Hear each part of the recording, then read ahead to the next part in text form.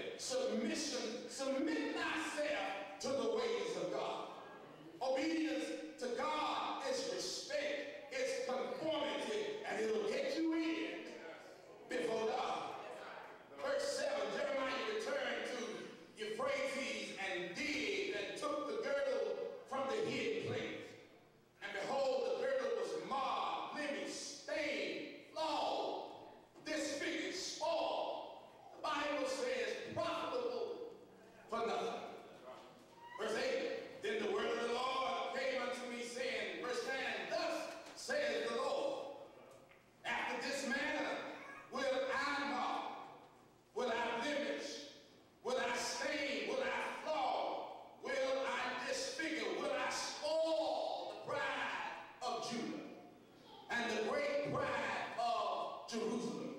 What's the problem, God? Why are you mad at Judah? Why are you angry with Jerusalem? Why are you threatening darkness? Let me ask you this morning, why